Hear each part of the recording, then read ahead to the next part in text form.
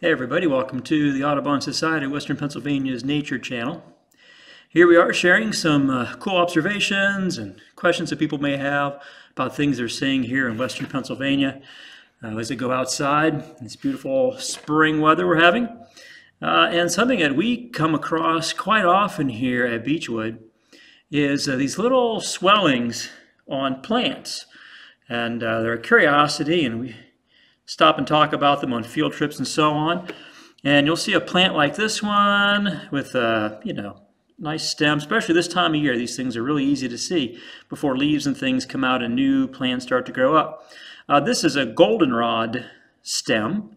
And this growth on here, it looks like it might be a bud or something, but it's not in the right place. You know, that would be, the bud would be somewhere on the end. It wouldn't be down here in the middle somewhere. Uh, and really, that's not uh, the goldenrod plant really at all that's causing that or this, the reason that's there. Uh, it's made out of plant, but what's happening is it's being caused by the presence of something else. It's being caused by a little fly, a goldenrod gall fly. The fly comes along back when the stem was green, lays its egg here on the stem, and then uh, the little larva penetrates inside and uh, it causes the plant to grow in this strange way and create a little home for the little gall insect to grow up in. It'll spend its little larval life in there, the caterpillar stage, if you will, and then it'll rest for a little while. It's called the pupa stage, and eventually it will come out. Um, and usually it spends the winter in there, and then next spring it can, you know, it'll, it'll come out so it can live in there. Um, now this particular one, well, there's a little bit of news here for this one. I, you can see on this one, there's a little bitty hole uh, right there. And uh, that probably is not an exit hole.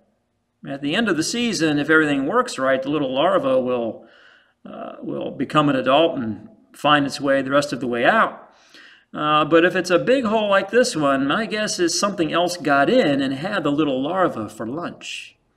Now these are, again, it's caused by an insect, and uh, these are pretty common on plants. Uh, there are many different kinds, hundreds of different kinds of swellings and things like that, all caused by different kinds of insects that will uh, live uh, inside of these plants and, and cause the plant to grow in this strange way around it. Doesn't really hurt the plant too much as long as there's not too many of them on there. The plant will continue to grow and flower and so on. It just, you know, takes a, little steals a little bit of resources, but not a lot. And the plant will be just fine in the long run. But in the meantime, the little insect has a home for the winter. Now, this isn't the only kind that's out there. If you look around, you'll find more and more of these things on different kinds of plants. I have some other ones here. Uh, this one here, this little round one here, grows on oak trees. We call this an oak bullet gall. It looks like a musket ball uh, from an old-time gun. And that's also an insect that's living inside of that, growing up inside of that one. Now this one has a very, very tiny hole in it, which you, yeah, you can see it there. A very, very tiny hole. That's probably good news. If it's a tiny hole, there's a good chance that was the little insect growing up and able to leave before something came in and got it. If it's a big hole, something came in and ate him. If it's a small hole, he probably made it through and escaped to continue the life cycle on. Uh, here's another one that grows on grows on goldenrod plants out in the meadow. This is an elliptical gall, different shape, a little different insect, uh, but the same story.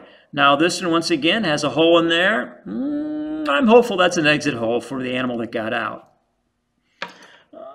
Let's see. Oh, they can get quite large. Here's one that is the size uh, larger than a ping pong ball here. Um, probably from an oak tree. I'm not sure where this one came from, uh, but a tree of some kind, I'm pretty sure. Different size, different shape, different size means it's a different insect that made it. Uh, here's another one that's growing on an oak tree. It looks a bit like a burnt marshmallow.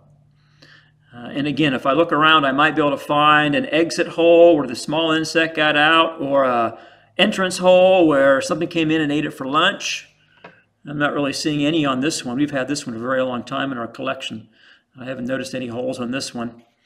Um, and then this is another one, really strangely shaped one. This one grows on blackberry plants.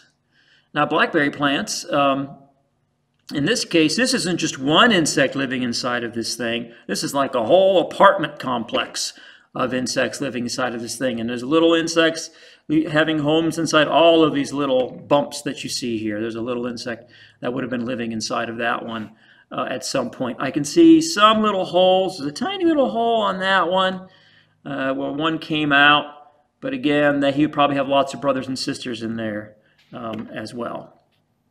Now, anytime you have a bump on a plant with an insect living inside, we call that a gall. G-A-L-L, rhymes with ball, starts with G. And again, there are hundreds of different kinds of these out there.